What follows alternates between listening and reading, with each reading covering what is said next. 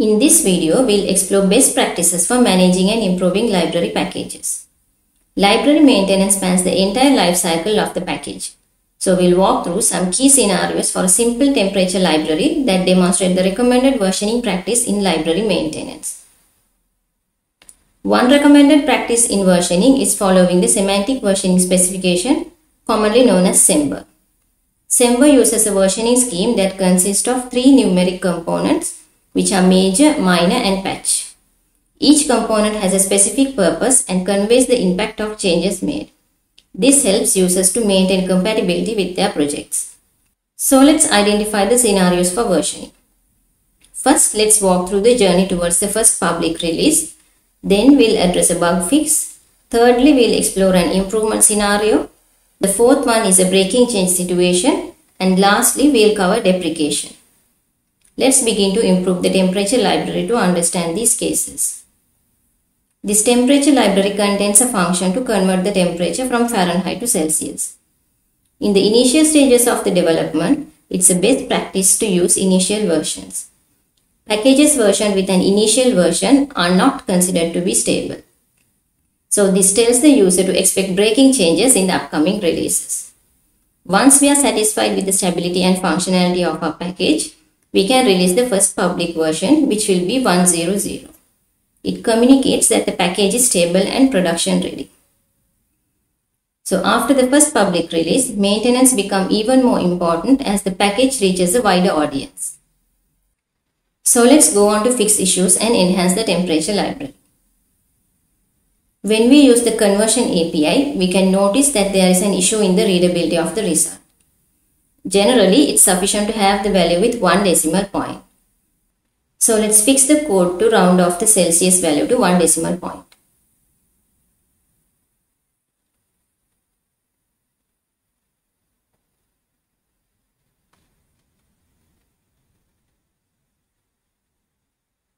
SEMVER enforces to use patch versions for bug fixes. So we can publish this as the next patch version which is 101. Now let's move to the second scenario and we'll introduce an API to convert temperatures the other way around, meaning from Celsius to Fahrenheit. This is an enhancement with no impact to the existing Fahrenheit to Celsius API. So this can be added in the next minor release. We can add these changes in the version 1.10. Moving on, we can observe that this API lack validation.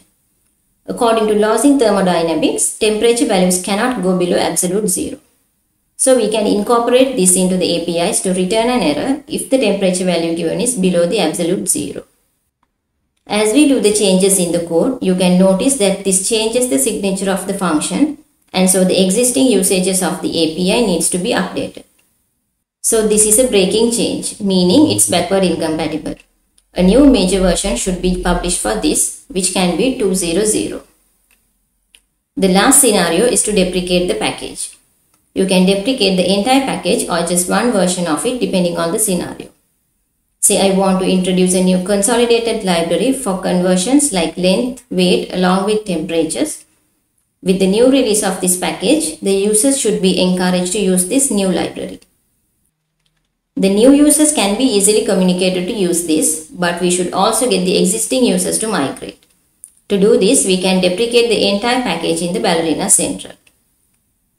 So sign into the Ballerina Central and go to the package and you can see an icon next to the package name. Click on this and select deprecate all versions and provide a deprecation message.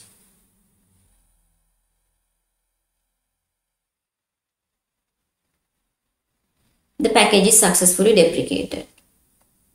Now when we try to compile a package that depends on this deprecated library, the compiler will issue a warning with the deprecation message.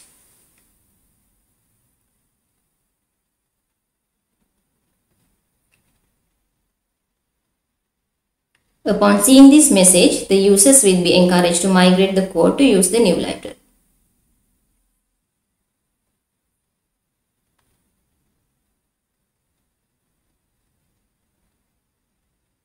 So we explored the most common scenarios you would come across when maintaining library packages. I hope that you have gained the knowledge to contribute with reliable libraries to the growing Ballerina library ecosystem.